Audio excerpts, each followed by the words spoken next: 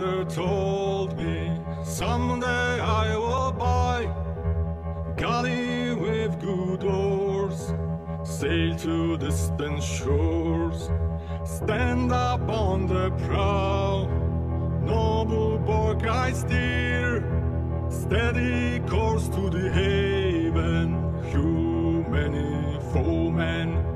My mother.